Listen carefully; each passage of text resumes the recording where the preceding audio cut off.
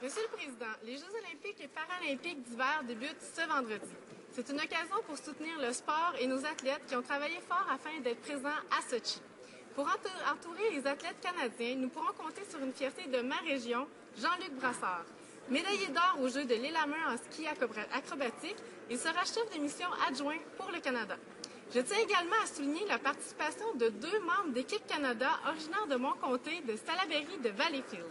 Mélodie Daou, jeune femme de 22 ans et joueuse de l'année au niveau universitaire, participera avec l'équipe féminine de hockey et partira à la conquête d'une autre médaille d'or.